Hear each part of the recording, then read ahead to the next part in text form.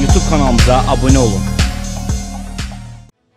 Bugün səhər saatlarında Bakı şəhər Suraxanı rayonu ərazisində baş vermiş dəhşətli hadisə ilə bağlı bəzi faktlar üzə çıxıb. Publika.az-a açıqlama verən avtobusun məxsus olduğu 171 saylı marşrut xəttini istismar edən Ayşən LTD şirkətinin rəhbəri İradə Əliyeva hadisəyə yük avtomobilinin səbəb olduğunu bildirib. O qeyd edib ki, qəzada vəfat edənlərin əksəriyyəti yolun kənarındakı dayanacaqda və oradakı köşkün önündə dayanan şəxslər olub.